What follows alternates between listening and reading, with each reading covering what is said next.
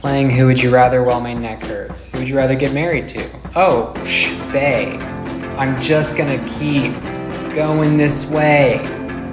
Easiest answer, you guys. Okay. Do I need to keep going?